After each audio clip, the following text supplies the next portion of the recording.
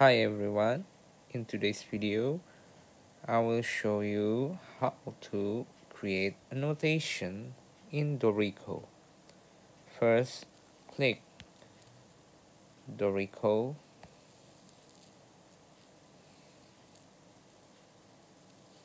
and then click create new. After that there are a bunch of templates you can choose chamber choral empty jazz solo.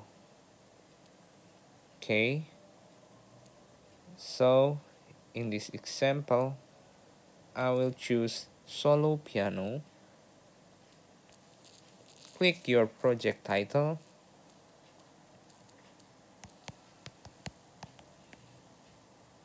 Then write the composer. Choose the page size. From A3 to tabloid.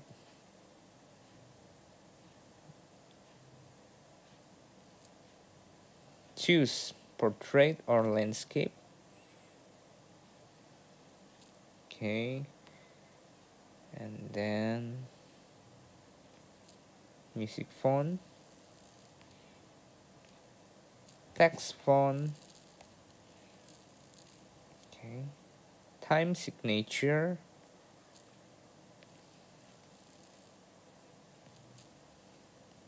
Bars.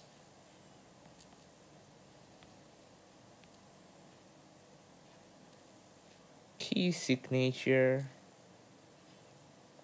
Major minor and then create project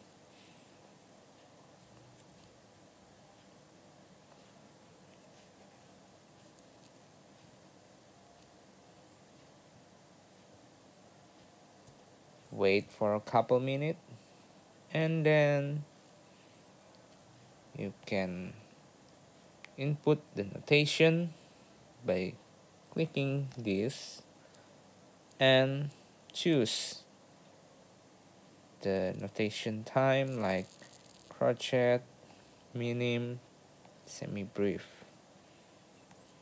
After that, click on the piano or you can click in here.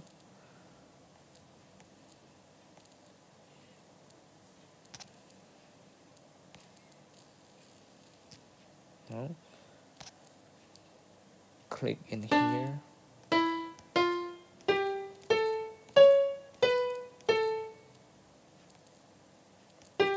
Okay. If you want to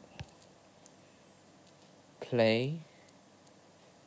Just click green triangle. And that's it. If you want to change the tempo you can click here. Okay click here click here. Q equal 60 okay.